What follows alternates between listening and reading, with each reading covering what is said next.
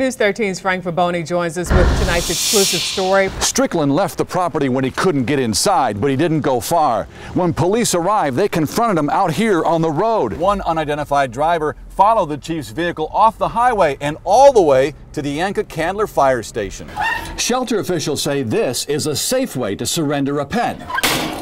Without it, people have left animals in airtight boxes, have chained them to the fence, and have even thrown them over the barbed wire. Sheriff Duncan, acting more like a parent than sheriff, took his son back to the scene where he made his escape.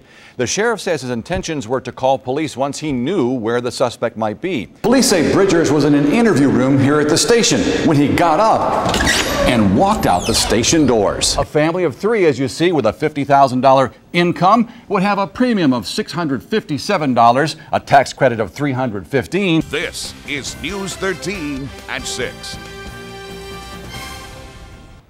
Heavy snow blankets parts of the mountains. Big fat flakes fell most of the day in Jackson County. And you can see those big flakes, they really stacked up. And it wasn't just the snow. The wind out there is really driving down that wind chill. We'll have much more on how the snow is affecting people, but first, let's check in with Chief Meteorologist Jason Boyer. All right, thanks, Jason. Well, many viewers in the higher elevations have written to us saying that they've gotten as much as nine inches of snow. So we went to take a look ourselves. News 13's Rex Hodge is live from Jackson County. And Rex, what's it like there? A reminder if your school or daycare closes because of the weather, you can find out with a News 13 text alert. Just go to WLOS.com to sign up. The notice will be sent directly to your cell phone. Snow also dusted parts of Asheville, continuing the freezing start to spring. The light accumulation left a touch of white in this East Asheville neighborhood. The bone chilling wind also left its mark, and for some, it was a shocking start to the season. I don't think somebody got the memo about the spring thing, do you? I think you're right. Many are anxious to finally see some spring-like weather. Tonight, the Asheville City Council voted to raise fees on water, garbage, and parking rates. It's all in an effort to offset a $1.9 million budget deficit. News 13's Mario Boone has been at the meeting all afternoon. He's joining us now live. And Mario, how much will the rates increase? All right, thanks, Mario. Now to continuing coverage of a murder case in Henderson County. Today, a judge refused to lower the bond of a man accused of killing his girlfriend and dumping her body on the Blue Ridge Parkway. Jermaine Glover is charged with first degree murder in the death of Misty Carter. He went to trial and a juror, jury deadlocked earlier this month. Today, Glover asked for a reduction in his million dollar bond, but he was denied. He'll remain in jail while waiting for the new trial. Glover's family members say that's unfair, but Misty Carter's mother told the court Glover doesn't deserve to be out on bond. Prosecutors and Glover's attorney say they're ready to present evidence in a new trial. The judge set the retrial for April 22nd when the court begins a new term. A reward is being offered in Rutherford County tonight to find the person or people who are stealing road signs. The county's Crime Stopper says the signs are vital for first responders to find homes and businesses. The stolen signs could slow response times and endanger lives, according to officials, and they're offering up to $2,000 for information. If you know anything, you're asked to call Crime Stoppers at 286 8477. I just think it would just create another hardship. Taking steps to raise revenue. Coming up in tonight's reality check, why business owners aren't pumped up about a new plan to tax more services. Local business owners say a new plan to raise more revenue for the state would cut into their bottom line. Lawmakers are considering expanding the sales tax to include services that are now tax free. How some businesses and consumers feel about the idea is tonight's reality check. Supporters say adding service taxes while lowering income taxes would create a more sustainable and fair tax system. But so far, it's only an idea that hasn't yet made it into any legislation. If you have an idea for a reality check, you can write me at realitycheck at WLOS.com. Hard to believe we're talking about wind chills as we get close to Easter. and remember, remember, the snow in October from Superstorm Sandy? Yeah. So everything on the bookends of winter has been active in the middle. Backwards, much, you could yeah. say. Just different. Different. well, viewers have been flooding our Facebook page with pictures of the snow. That's right, and these are some of our Oh, favorite snow sculptures we've seen. Holly Cox sent us this one, a snow bunny just in time for Easter. And Ashley Craven sent us one of her daughter, Craven, uh, with her snowman in Maggie Valley. And I like that snowman's hat. We're learning more details about Appalachian State's move to Division One football. Stan has the update next. Hate that for State. Yeah. Oh, they're gonna, then they lose a couple of good seniors too. So Absolutely. that'll be Be tough. hard. Mm-hmm. All right, quick look at the weather. How about this? Mm. It's not quick when it comes to snowfall, Okay. unfortunately. It continues to pile up and it will continue Could to be That next to sounds good. impossible to find eggs in all of that snow. Yeah, I know. If it doesn't melt, you melt. know, hey. But it hopefully melts off rather quickly. Let's Okay. hope so. Thanks for joining us. For more local news, flip over to News 13 on My 40 at 630. This is News 13 at 6. News 13 has learned graphic details about an alleged rape that led to charges against two Asheville tourist baseball players. News 13's Megan Sharing is live at the Buncombe County Courthouse. A McDowell County man will spend at least two years in prison for an accident that killed an elderly woman last summer. 28 year old Patrick Devaney pleaded guilty to one count of felony death by vehicle. Troopers say Devaney was impaired when he crossed the center line on US 221 and hit a van head on. Pauline Lale, a passenger in the back seat of the van, died at the scene.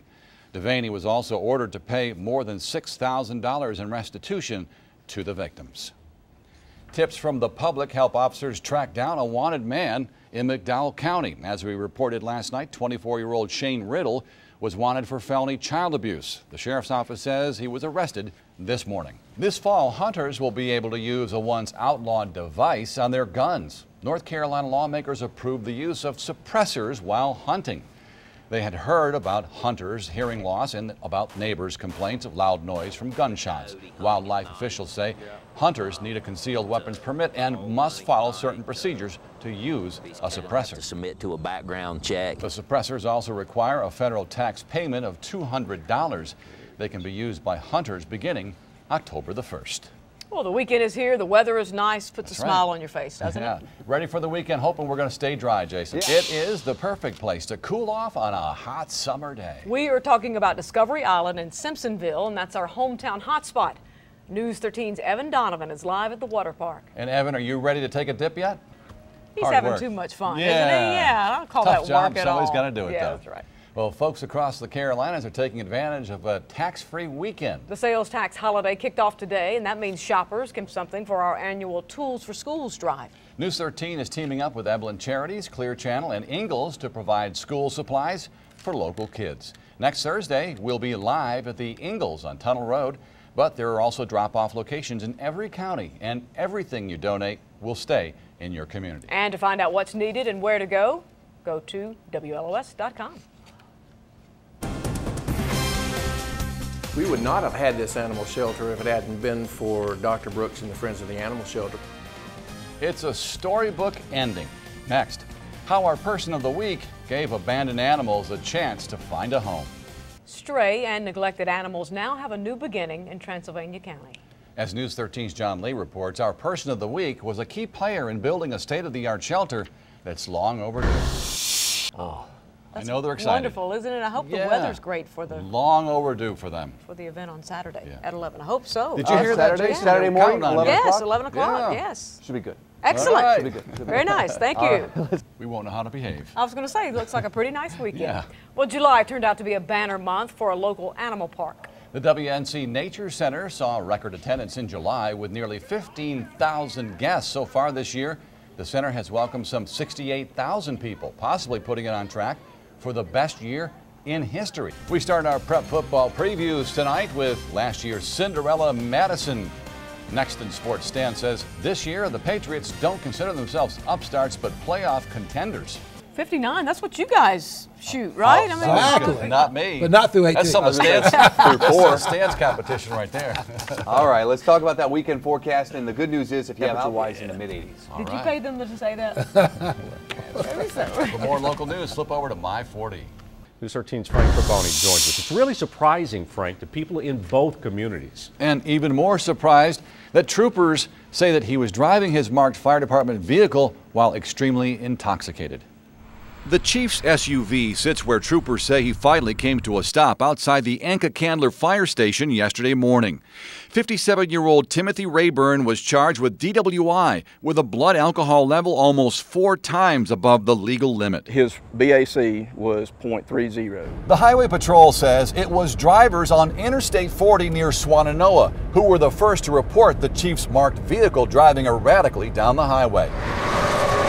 Several drivers followed the SUV, calling police and the highway patrol along the way. One unidentified driver followed the chief's vehicle off the highway and all the way to the Enka Candler fire station. Court records reveal he almost hit another vehicle and the guardrail. Was that surprising? Very surprising. All in his marked vehicle. I've been doing this 20 years and this is the first time that I've dealt with this, this type of situation. The fire department board chairman released a statement saying the chief was immediately suspended pending an investigation, and at this point it's considered a personnel matter. He was elected in 2009. Rayburn is vice mayor in the town of Black Mountain and up for re-election in November. A lifelong public servant who retired from the Black Mountain Fire Department in 2008. He's been very committed to the town of Black Mountain, committed to uh, the fire department and to the public in general, and, uh, and he's done a lot of good things for the town. A history of service now tarnished by his arrest. All we can do is just pray and let the Lord handle it. Rayburn's driver's license was automatically revoked for 30 days. He was released on a $1,000 secured bond. Attempts to reach him at his home were unsuccessful. News 13's Frank Fraboni joins us. And so, Frank, how did this happen? The suspect had several outstanding arrest warrants and was brought in for questioning. When no one was watching, he apparently got up and walked out. Police released this surveillance photograph of Jesse Bridgers last night and asked the public for help in finding him. He was brought into the Asheville Police Department because he was wanted for a breaking and entering and suspected in several others in West Asheville. Police say Bridgers was in an interview room here at the station when he got up and walked out the station doors. It's unbelievable. I, I think the uh, the custody measures probably need to be re-examined. It seems like somebody should be watching him. He should be secured while he's there. Bridgers was wanted on several felony warrants, including larceny of a weapon. He was also recently released from the Buncombe County Detention Center and was charged this morning with misdemeanor escape. Some find it hard to believe someone could walk out of police custody. Got up and walked out. wow. Somebody is not doing their due diligence, I, I would guess. That's surprising. I'm, I don't know how he got out of there. the suspect's escape comes a week after another embarrassing incident for police. A patrol car was stolen from outside a substation in Skyland after an officer left the keys in the ignition. A police spokesman commenting about the escape says a review has already begun to address actions by staff and identify any policy or procedures that were not followed to ensure it doesn't happen again. Police say Bridgers was not considered armed or dangerous, but this isn't the first time this has happened. A man charged with two murders, rape, and arson escaped from the station in 1995 when he told officers he had to go to the bathroom. Luckily, he too was captured just a few blocks away.